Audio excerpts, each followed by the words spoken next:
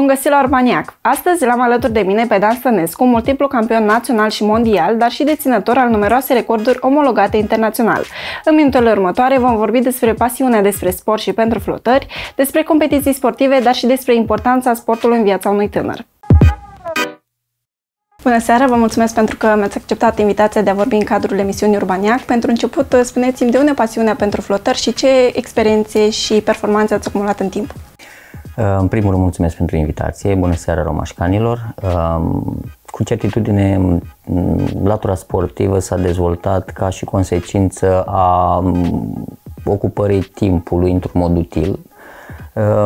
Din speța asta am mers pe două laturi, pe dezvoltarea fizică, dar am mers și pe dezvoltarea mentală, că nu numai latura flotărilor am dezvoltat-o de-a lungul timpului. Am avut două pasiuni, să spunem, uh, care au, uh, s-au uh, concretizat în rezultate la nivel mondial și mm, în plan personal mă refer la studiile care le-am efectuat în raport de cultură generală pe mai multe domenii. Am plecat de la primul record național pe care l-am stabilit, cum bine știți, în număr de 1500 de flotări în 4, 52 de minute, nu, 42 de minute, deși recordul anterior fusese 1300 de flotări în 49 de minute, um, făcut de către Adrian, de către Doru Dărăbăț la Galați.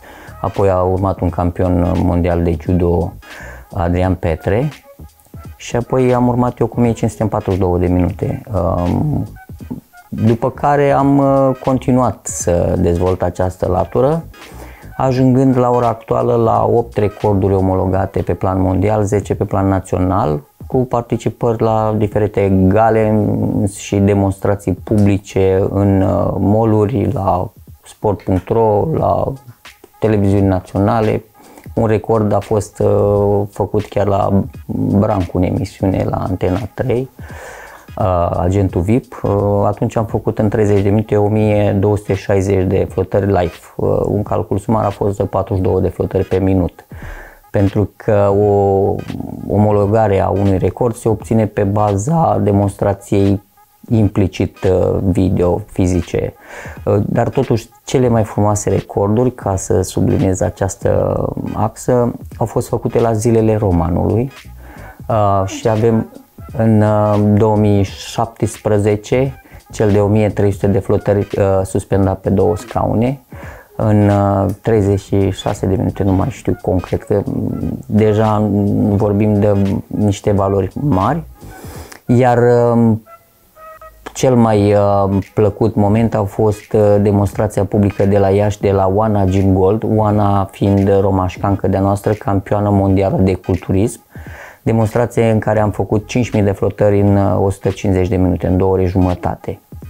O altă demonstrație frumoasă a fost în 2015 la Megamol, alături de Radu Valahu, Oncescu, Uceanu, mai mulți reprezentanți ai sportului uh, mare, unde am fost arbitrat de către un uh, actor care a jucat și în, la Prima TV, um, Cristi, care a însemnat uh, numărul de flotări maxim făcute într-o oră la vremea respectivă 2369.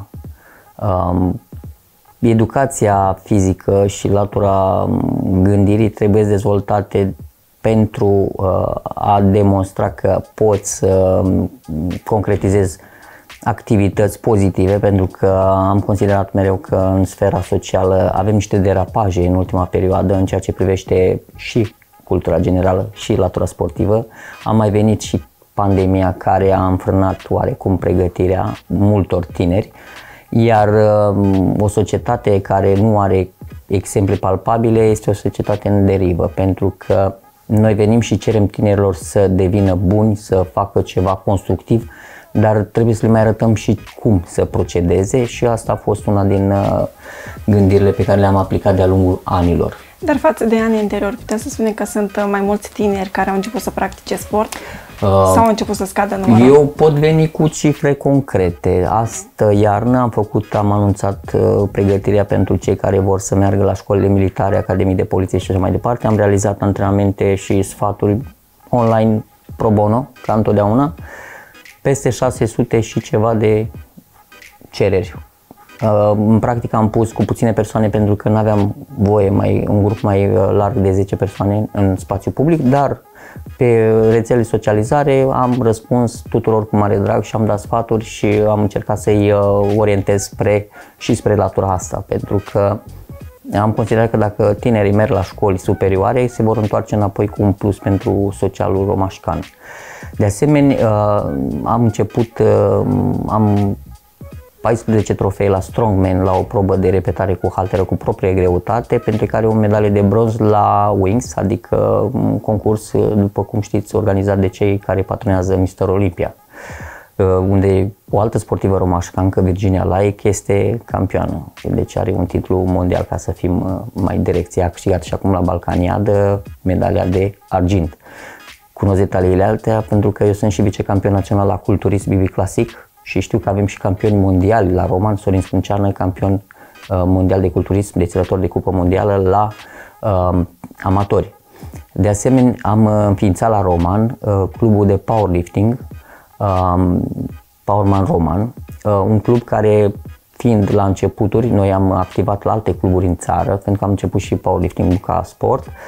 Uh, care în 2 ani de zile a acumulat uh, hai să nu mă duc acum 2 ani, să mă duc anul trecut să vorbim pe ultimele rezultate, undeva la 13 medalii de aur la naționale și 4 de argint și 4 de bronz în 4 sportivi. Deci un raport de um, medalii foarte bun. Um, dar nu doar medaliile în sine reprezintă ceva, ci faptul că foarte mulți tineri au început acum în săl să practice acest sport. Și aici avem semnale mult mai uh, palpabile că în ultima perioadă, chiar în toamnă o să încercăm să mai legitimăm doi sportivi la clubul nostru și să venim cu rezultate foarte bune. Um, de aici aș menționa și o evoluție foarte bună a lui Cătălin Bandol, uh, care concurează și el la Master 2. Uh, Master 2 înseamnă peste 50 de ani dar noi am obținut medalii și la categoria 20-40 de ani, ca să înțelegeți cum ce raport uh, acționăm la nivel național. Nu vorbim de Alexandru Dascălu, care este și el fost judocan, acum este powerlifter, a luat medalia de aur la primul concurs, uh, a făcut o figură foarte frumoasă. Uh, George Paraschiv, la fel, multiplu medalia la naționale cu bronz și argint. Deci avem tineri foarte um, buni în ramurile sportive. De ce?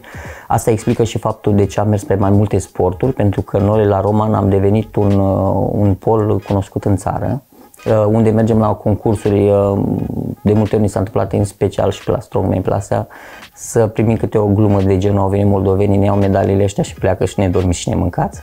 Și pentru noi e un lucru onorant, ca să spun așa. Uh, americanii mi-au făcut și ei videoclipuri, ei m-au numit uh, King Push-Ups, regele flotărilor. Le-am mulțumit pe această cale, dar onorant pentru mine nu este faptul că am că am reușit să fac niște performanțe, ci faptul că am convins tinerii să facă mișcare. La un moment dat am avut un tânăr din România, care la 10 uh, ani, 11 ani făcea 7-800 de flotări pe antrenament.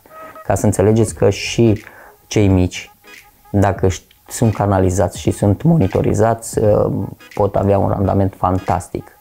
M-am mai spus și la culturism, stăm foarte bine, avem foarte mulți tineri care uh, efectiv uh, fac uh, performanță la nivel național și internațional că, și nu numai tineri, că tocmai am vorbit și de Virginia Like.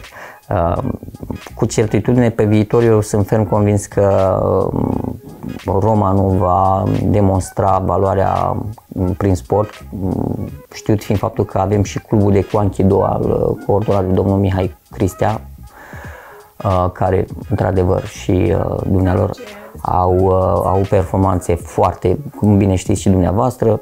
Avem și Radot cu parul la box, care a adus în ultima perioadă rezultate cu cei mici. Avem și la șah rezultate foarte bune. În notul se ridică foarte bine avem și fotbal feminin, vulpițele galbene, să nu uităm că și fetele fac uh, o figură frumoasă. Și handbal uh, în ultimă instanță și fotbal. Deci uh, paleta sportului romașcan este foarte mare în raport cu, cu mărimea orașului, pentru că, sincer vă spun, am văzut orașe mult mai mari cu rezultate mult mai modeste. Um, la fel, tinerii în sportul recreativ, dacă mergeți în sălile de fitness, o să vedeți că au o deschidere totală spre mișcare. În parcul Roman și în zona strandului am văzut la fel în zonele de fitness urban, da, mă refer la aparatele specifice, lucrând calistenic, adică cu propria greutate, ceea ce recomand din inimă pentru că este un lucru direct proporțional cu volumul al brațelor și picioarelor.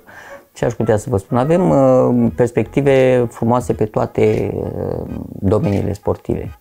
Uh, în altă ordine de idei, uh, intru în contact cu tinerii constant și plusul uh, care se generează prin discuții aplicate asupra religiilor, uh, filozofiilor, uh, științelor uh, sociale, uh, crește, uh, istoria, egiptologia, sumerologia, am văzut un interes major din partea tinerilor, ceea ce dă un, uh, un semnal pozitiv în ceea ce va urma pentru romașcani, căci uh, dacă ați sesizat uh, televiziunea națională merg pe latura negativă, din păcate, a evenimentelor și scot în evidență prea multe activități antisociale și comportamente non-civilizate. Atunci noi, în contrapartidă, chit că o facem dor to door pe stradă, oriunde, oricine mă oprește, stau de vorbă și încerc să dezvolt și nu numai eu, toți cei care facem, suntem implicați în mișcarea sportivă și atunci e firesc să ne așteptăm și la un plus social.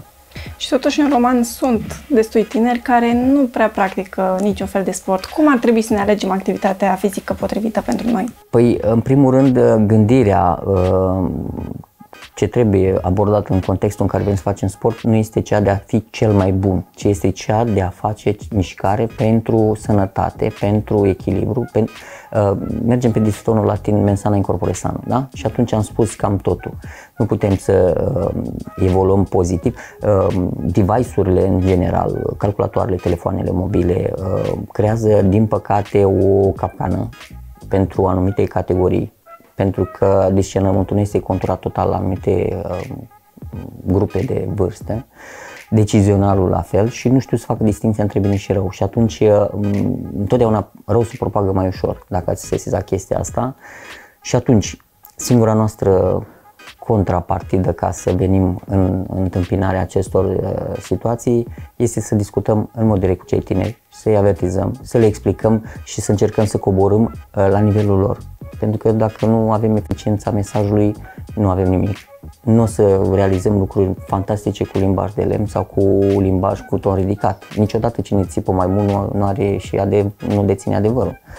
Și de asta zic că la Roman și cu sprijinul autorităților locale. Noi am organizat niște competiții de nivel național în care au fost concurenți din toată țara. E, atunci am avut bucuria să văd tinerii foarte interesați de, de fenomenul sportiv și de latura sportivă și nu numai. Și de asta, eu aici apreciez la dumneavoastră și latura asta a discuțiilor constructive, pentru că de discuții, hai să vorbim vorbe, cred că ne-am cam săturat. Și um, dacă încercăm cu toții să punem umărul și fiecare face câte o bucățică, un puzzle, în timp vom reuși totuși să schimbăm mentalitatea și să îndrumăm cumva, să încercăm să educăm. Este important să avem și un echilibru uh, legat de alimentație?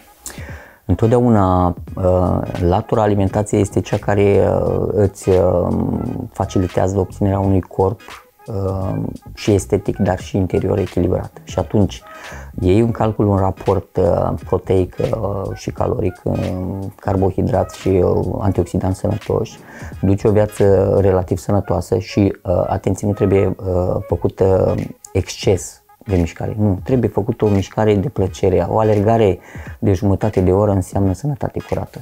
Uh, cumulat cu... Deci doar jumătate de oră pe zi. Și este mai mult decât suficient. Uh-huh. Cumulat cu alimentație uh, echilibrată, uh, scăpăm de multe probleme. Pentru că dacă nu investim în corpul nostru, investim în sistemul de sănătate, care nu ne garantează că va fi ceva benefic. Da? Decât să mă duc la medic, mai bine merg la o sală de fitness. Da?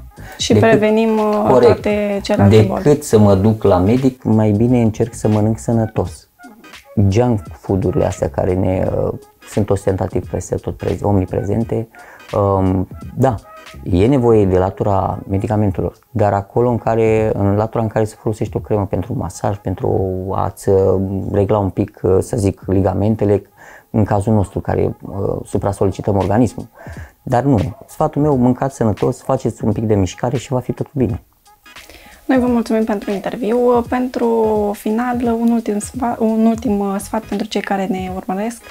Um, cel mai simplu și mai uh, curat sfat. Uh, puneți în practică că noi putem vorbi mult și putem divaga pe multe aspecte, putem dihotomiza subiectul la infinit. Nu, practica rezolvă situația. Atât pentru astăzi, până data viitoare, fiți pozitivi și zâmbiți mai des!